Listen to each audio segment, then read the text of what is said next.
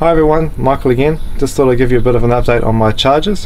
What I've done is I've added these, um, the extra four charging boards that I had, and I put them into the um, into the bank here. So um, now I've got um, 14 chargers.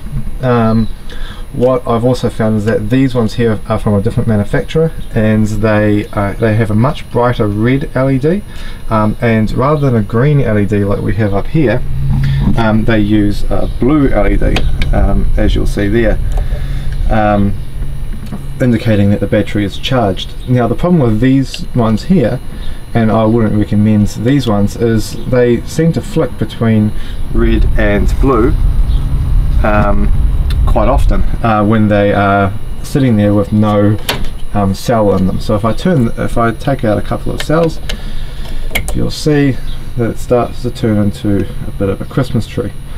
Um, so I'm not really a fan of those um, and I would kind of stay away from them. Um, they seem to be fine, they, they do charge the battery. When the battery is charged they um, the, the blue light stays on and there doesn't seem to be any issue with the charging of the cell it's just that they seem to flick when there's no um, cell in place so not really too sure what's going on there. I've taken them, um, the batteries out of this and, and tested it um, with my IMAX B6, just charging it a bit and uh, seeing if I can charge it any more. And the, the cells that are coming out of here are fully charged, so that's fine. Um, it's just they flicker, where the ones at the top here don't flicker. Um, these ones here seem perfect, so I'm not too, really too sure what the differences are. The, the, the format of the um, circuit almost looks identical.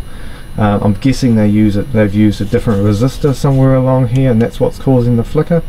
Um, I'm not too sure, but um, so yeah, recommendation is to obviously buy the top ones up here uh, if you are. So yeah, I've um, I've connected these four to another uh, Molex connector, which is separate to the top ones, so they're running off a different cable directly to the power supply.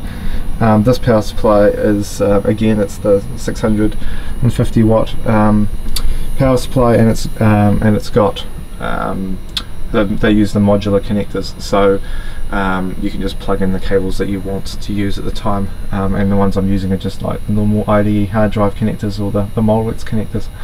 Um, so that's a bit of an update for that. Um, the reason I added the those other four charging circuits was because I was finding that throughout my day I didn't have enough charged cells to take with me to discharge throughout the day. I'd find that I'd run out um, halfway through the day of batteries to discharge. So having another four just means I can get um, at least another probably around 30 done or charged to go each night and that way um, it's not kind of holding me up during the day.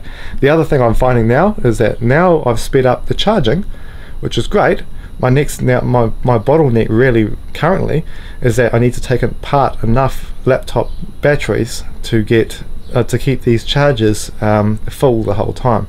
So um, I normally take the laptop batteries apart and I put them into the two charge box here um, and as you see I've only got two left which means I need to take apart another three or four laptop batteries today so I can fill those charges up before I go to work.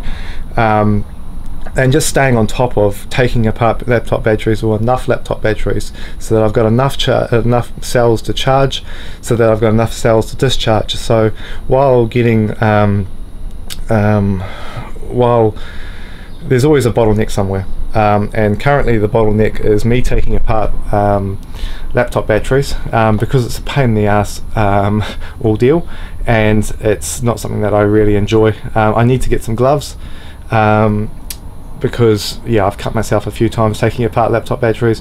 One laptop battery I shorted and, and somehow shorted it in my hand. Uh, it wasn't really a laptop battery it was one it was actually a couple of cells or three cells out of a server um, um, board that they use um, one of the RAID cards. And um, it uses it used three uh, 18650s which is a bit surprising because they don't normally. Um, and taking apart that somehow I got it stuck in my hand and it shorted and um, ended up burning, burning, my finger. So that wasn't very fun. So um, need to get some gloves. Um, I see some other guys are using gloves so that's a great idea. I've got glasses um, which is um, so I've been quite lucky with flying things that are flying off the battery. Um, sometimes the the plastic on the batteries is quite brittle and it, it seems to kind of explode as you try and um, rip the battery apart. Um, so um, what I'm needing to do is um, put some glasses on as well, just to protect my my eyes from you know flying shards of um, plastic at times. So it doesn't happen very often, but you know when the plastic does rip apart and it breaks, it you know hits the ceiling of the garage and it flies all over the place. So I'm sure after I finish this project, I'll be picking up pieces of plastic for the for the rest of my life, but, but that's okay. Um, so anyway, that's a quick update. Um, hope everyone's well, and um, see you guys soon. Thank you.